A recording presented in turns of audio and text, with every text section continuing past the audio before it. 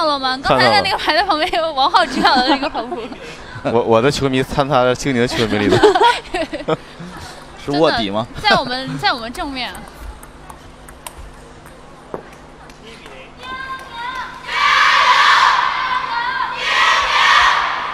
昨天他们还在吐槽，会不会这个横幅其实两面的，这面是丁宁，这面是王浩他们。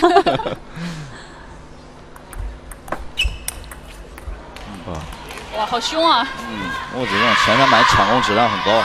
对，木子木子主要还是要靠他的前三板和正手的杀伤力，丁宁主要还是看他的相持，他的这种两面的这种相持的能力。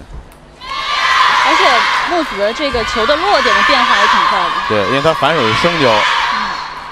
木子如果用反手能够压制住丁宁，再转到正手的话，如果说处理的好的话，还是威胁比较大。对。刚才我们其实，在赛前包装中也提到过，就是现在像丁宁啊、小枣啊，都是领跑第一阶队，就两个人一场都没有输。那在这场比赛中，木子有没有可能对丁宁发起冲击，成为他的阻挡？那是肯定的。对，木子才输一场球，你想他如果赢了丁宁的话，他他们三个人就可以对在一起领跑了。是。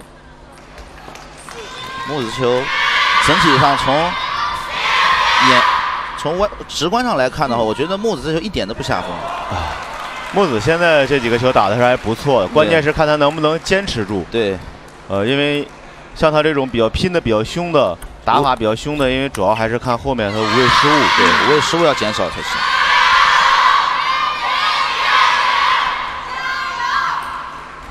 昨天是哪位指导？我我不大记得了。说丁宁打球啊，有点像网球中纳达尔。啊。就是给你拼，从头跟你拼到尾，就是给你耗 耗，对对对。哎，我觉得这还有差别，因为我是一个纳达尔的粉丝。哎。纳达尔打球就是我们这种粉丝看起来特别受折磨，五个小时。不是，就是每一个球看着都快死了，然后但是又能活回来，真的好艰辛那种。我觉得还是有差别。长跑运动员，丁宁也属于一个就是比较持久型的运动员。对。但是打的绝没有纳达尔那么苦，真的。那是没退台，退了台你看也挺苦，那是很被动了，你知道吗而且而且丁宁他也属于一个像后发制人的，对，嗯，因为他都是防守转攻型。丁宁还是有有一些旋转。无谓失误多了以后，你一下子比分就回来了。关键还是输，关键还是看他后面，因为前面上来打几个球很正常。所以后面看到的无谓失误，木子的这个球，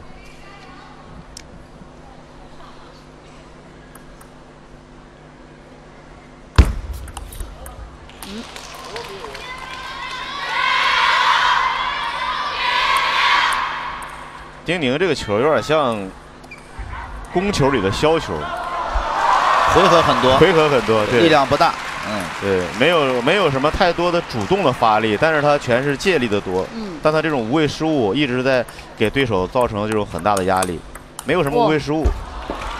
木子这个球太漂亮了。对你，你除非木子每一个球都能打成这样。对，出这么高的质量，很男性化了已经。对。对。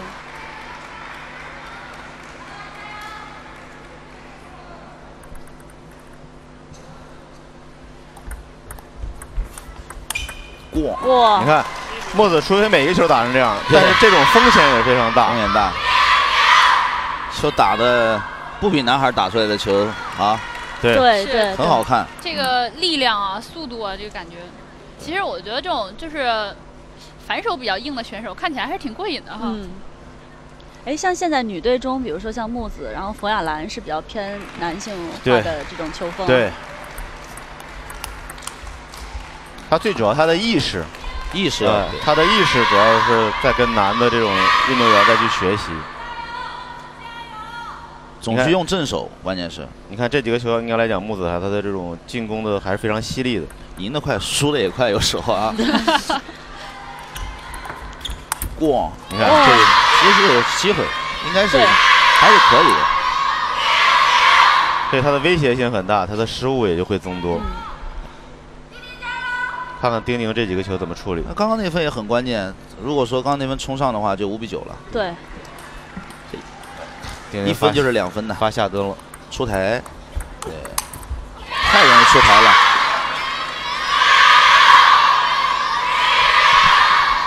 如果这是男孩的话，基本上丁宁只要摆出这种下蹲下蹲式的发球，肯定是首先第一准备的肯定不是短球，先准备长球，嗯，肯定出台，对这种下蹲发球很难发出短的了，加上球台又滑，因为女孩嘛，她这种应该来讲盯这个半出台的意识没有男孩这么强。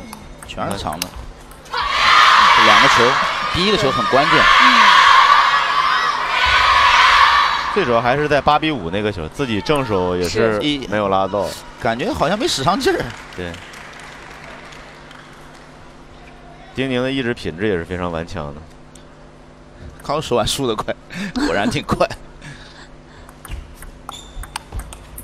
嗯，哎，也调整过来了。对，打打成这种多板相持来讲，对木子就不是很好不合适，不合适。如果打成这种就一两下能够结结束的话，对于木子来讲还是有有一定优势的。出台，你看，打成多板相持的话，丁宁就上分。酒瓶。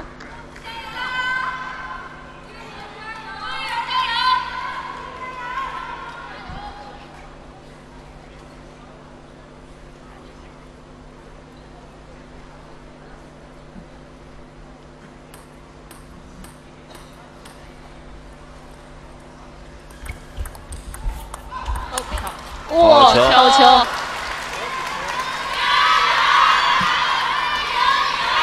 这样的话，木子拿到局点。搓到小三角，然后侧身反拉。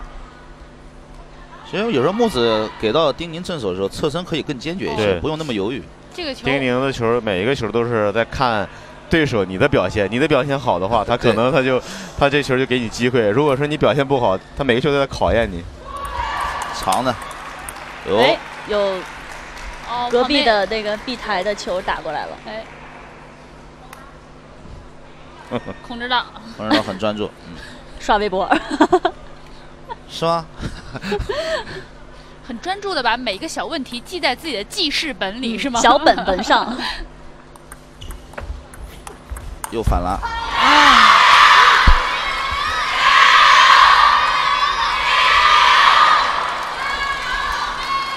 木子这个拼的太凶了，太凶了，两个都想反拉，我觉得还不现实。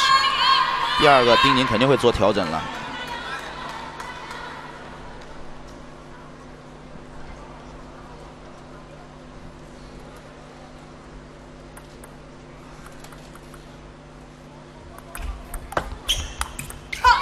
又这种球，他每个球都很用力。其实他侧身，他好也在侧身位，差也在侧身位，侧身也是失失误也是很多，嗯，虽然也得分，但失误也是比较多。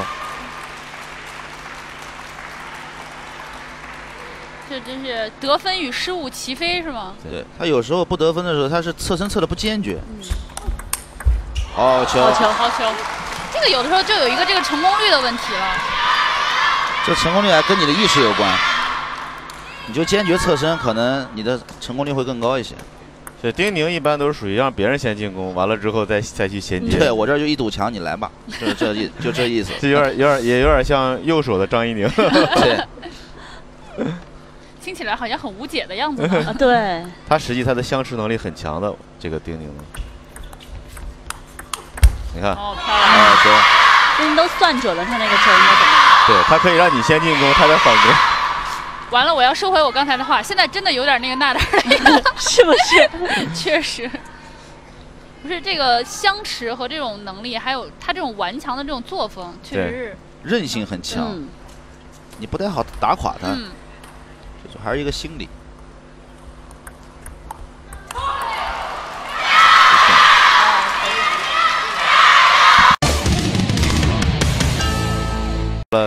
在这个世锦赛当时这个苏州的时候，他们也是打到第七局才决出这个胜负的。我发现丁宁只要使出他这个绝招，木子好像每个球都都没有办法。对，因为丁宁全都在发他长球，因为生胶有的时候挺怕他这个生胶没什么旋转，长长球的。好了反手就拱着你。这实际来讲是丁宁的一个机会。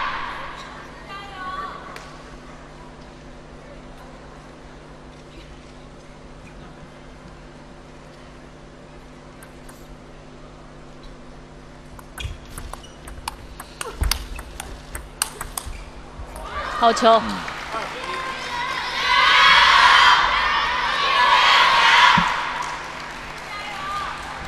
一般运动员在打完一个球，是不是就在总结自己的错误？你待会儿要怎么样？怎么样？怎么样？这种。对，其实有时候他们也是在暗示自己，给自己一些提醒吧。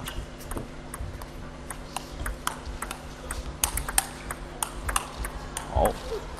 哦。对，他有这样的连续性，木子这个还是不错的。嗯。别一两板就失误了。对。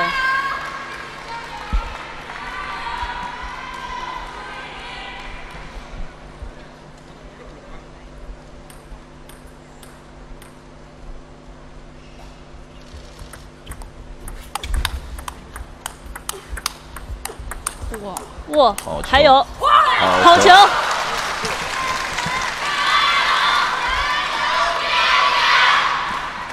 这种多板回合，要是木子总能赢的话，心里面那个底气还是会足一些。这个就是您刚才说的站起来、跳起来、蹦，蹦起来了，蹦起来拉。这一分对自信心上的提升作用很大。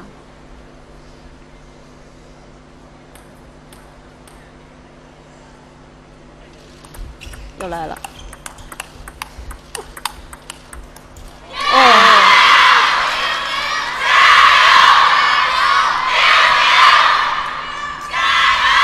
丁宁这么好的反手，反手当正手用，反手当正手用，很均衡，很均衡，嗯。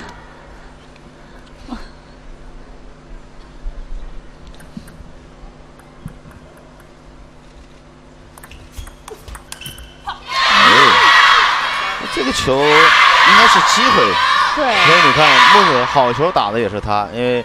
这种失误的多的也是他，所以你像丁宁的话，应该来讲，他这种虽然说变化不是很多，但是他这种一直他无谓失误很少，嗯，一直按照自己的这种节奏去打，所以能够把这个局面能够一直始终按自己的节奏去控制。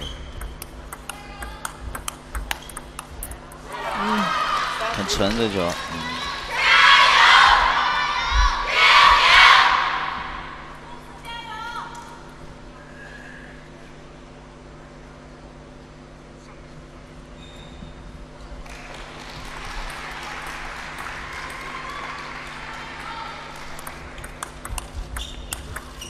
球哇，漂亮！很冲啊，对。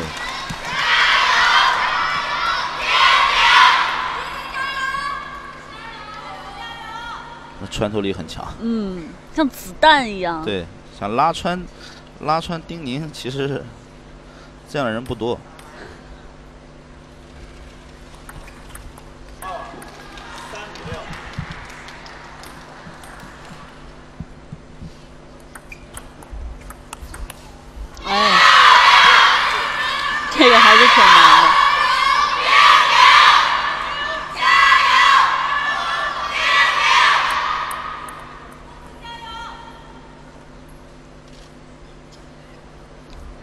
这个如何看出丁宁的这个防守能力？你看，就感觉到木子他老是得一分很艰难，虽然很漂亮，但丢一分特容易。对对，很快。嗯。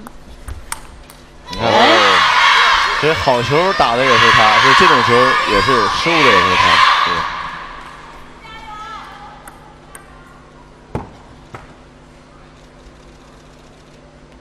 但反观你看，丁宁他起伏不是很大，没有什么太多的这种起伏。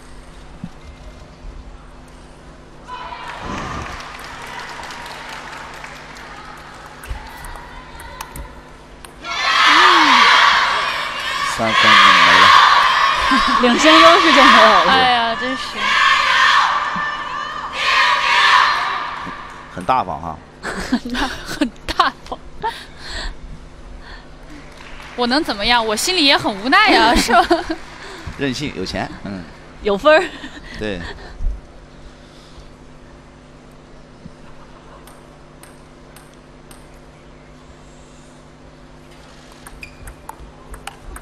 所以这个丁宁的这个招对木子来说就无解了吗？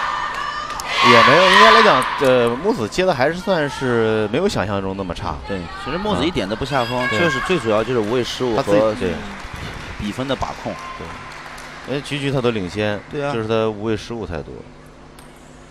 我觉得这也还是心理虚的一个一个有一个一个表现。对，有时候反手扛两下也没什么问题。我觉得木子的反手是非常好的，深交里面，这完全没有必要全部用正手去抢攻。再跟您比比，待会儿咱就比比您正好可以试试新球。您还没打过新球吧？意思我我还准备全运会哈。不是确定一下，这是沙老师在女子反手里的排名是吧？还可以，还可以，不要小看我啊！这几个球不错。所以有的时候像这些运动员，他们在跟主力打的时候，其实主力他有一些这种球是实际就给没怎么进攻，但是他有一些打出来一些球给对手造成了一定的心理的压力，就迫使这些运动员他们自己的无谓失误就无谓失误就多了。好，好。到十了，哎，几点了，木子的几点了。刚刚刚连输三个，现在又连连赢四个，这是花的快，挣的也快。对，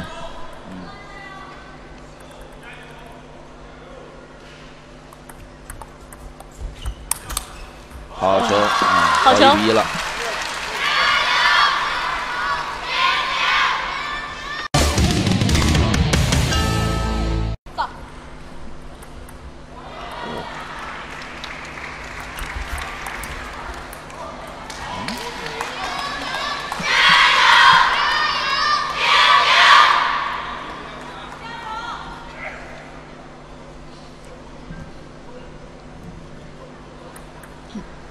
其实我们在今天钱包装的时候也聊到哈，因为现在丁宁和刘诗雯两个人都是全胜的，但是男队现在还没有全，已经没有全胜的队员了。咱们女队还是两匹全胜的这个呃骏马，一直领跑积分榜。然后其实我们之前也想问问，就是我们钱包装老师说谁会成为咱们女队全胜的拦路虎？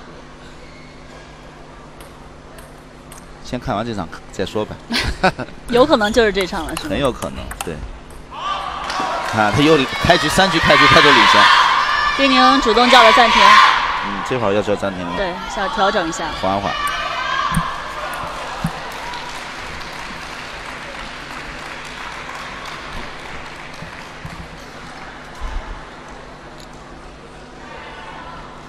一个是现在木子拼的比较凶，所以给丁宁造成了一定的这种压力。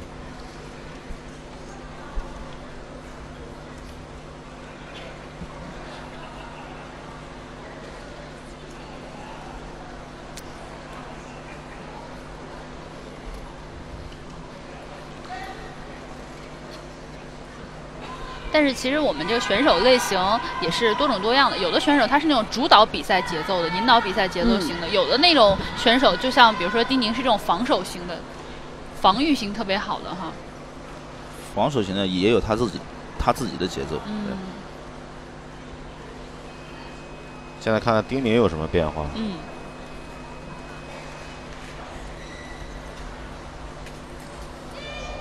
现在丁宁要把球能够打成多板多多板相乘，对而且靠一些节奏来控制住木子才行。但木子因为现在一直在在搏杀，一直在这种去这种拼的很凶，木子之前是二一比二输给了李佳毅，对，就输了一场吗。对，就输了一场。啊，所以四不零，所以丁宁这几个球也都是一板两板就失误了，他没有打到他自己的节奏上。一个半出台拉丢，一个反手下旋拉丢。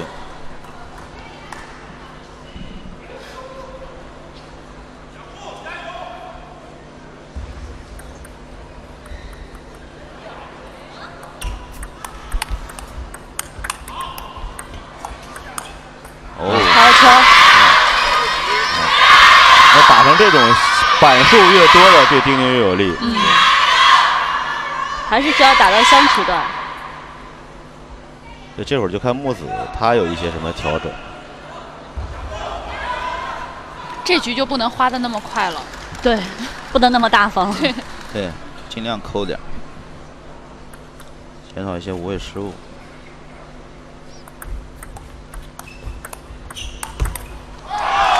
很好。其实丁宁前三板上给木子的抢攻机会很多，就看木子能不能抓住机会。对，丁宁因为跟人家打，就是给人家空间进攻，给跟木子打，给木子进攻的空间太多。对，进攻空间很大，全是在防守，靠这种去防守转攻，所以显得很被动。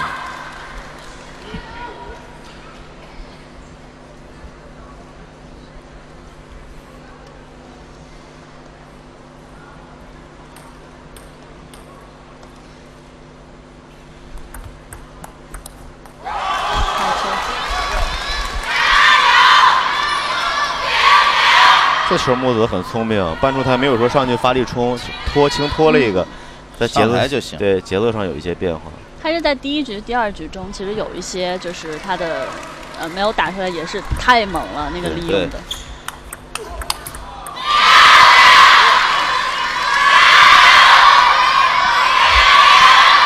丁宁又是一反拉，其实丁宁丁宁的正手还是不错的。木子其实可以压制住丁宁的反手，这样的话他的空间会大一些。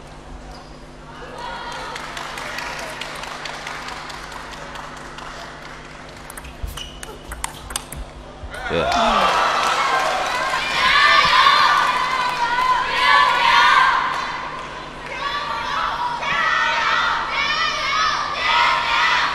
就这个球，应该来讲的话，对。他们运动员还是多多少少会有一些影响。好多运动员，你看他这个球都是按照以前的这种击球点和感觉嗯去打，但现在好多都下网或者擦网出界。这个球怎么不会失误？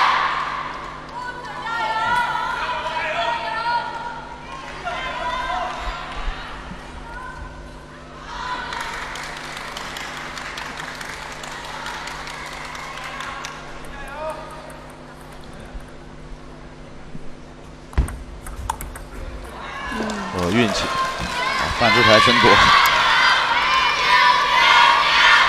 其实可以让大家统计一下，他他们两个人共总打了三局比赛，发了多少半出台？对，基本上都半出台，哇，半出台长球他们。对。